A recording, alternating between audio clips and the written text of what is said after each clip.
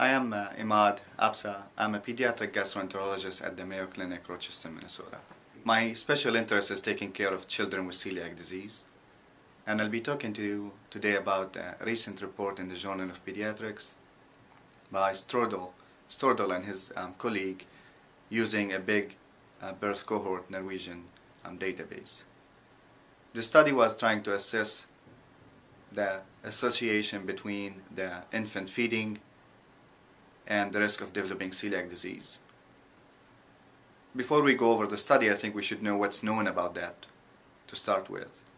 The link between the timing of introducing gluten into infants' diet and the risk of developing celiac disease have been addressed before um, through the um, Sweden um, epidemiologic studies where they found that late introduction of gluten might have been associated with increased risk of celiac disease in infants.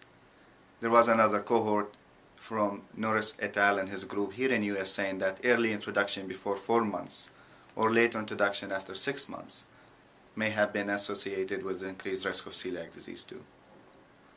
There was little information about the risk of celiac disease and association with feeding after two years, and this study was trying to address that, and, uh, that question. The study used a big Norwegian birth cohort that would involve more than 100,000 children. Participants in the study were asked to fill a survey at birth, 6 months and 18 months. And at 6 months they had to answer about the timing of solid food introduction including gluten. And at 18 months they also wanted to know about the breastfeeding.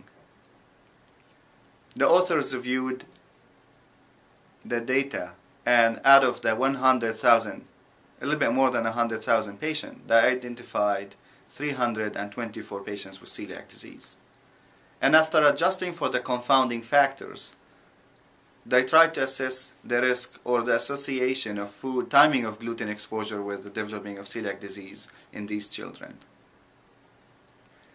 The authors reported that they found an increased risk of celiac disease when gluten was introduced after six months of age.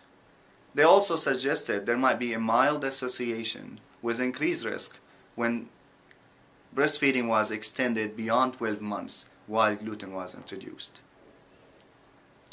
So what does that mean to families with infants with celiac disease? When do you introduce gluten? And what is the timing that is perfect for introducing gluten? From this study and from what we know before, it does seem that there is a window effect during critical time or period where introducing gluten might have been maybe better tolerated by the, by the infant's immune system.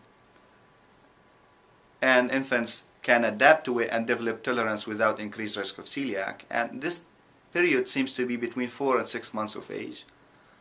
From what we know about the breastfeeding, the previous studies and a meta-analysis, a big grouping of the studies suggested that breastfeeding while introducing gluten during this time might also have protecting effect or a lower risk of celiac disease.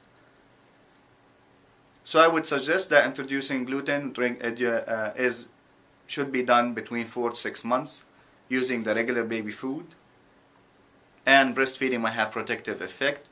More information hopefully will be available soon for us through at least two big randomized clinical trial trying to answer the specific questions about what is the right amount and what is the right timing to introduce gluten to infants' diet. Thank you.